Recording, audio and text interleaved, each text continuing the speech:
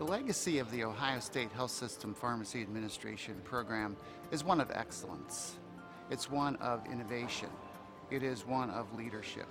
I think one of the other aspects for our program is that we not only have training at Wexner Medical Center, but we have residents from Riverside, we have residents from Grant. We just started a community practice. And so, in essence, their training is something not just in their own specific focus of that one hospital, but a lot of different health systems environments. So it's one thing to learn about what the challenges are that they're going to deal with in pharmacy and in healthcare through their didactic work, challenges, strategies, all that. But they get back to the hospital and they actually have an opportunity to apply those principles. It's a real life experience. They're living it, they're doing it.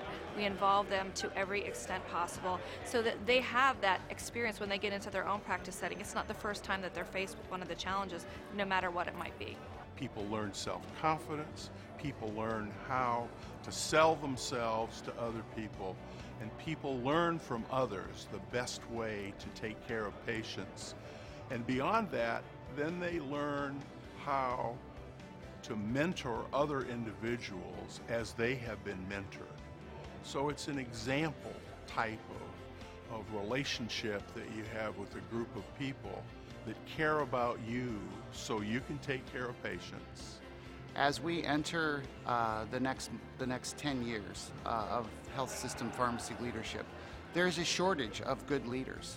And the Ohio State program focuses on training the best leaders, folks that are committed to improving patient care, committed to developing the most innovative and creative and cost effective pharmacy services within health systems.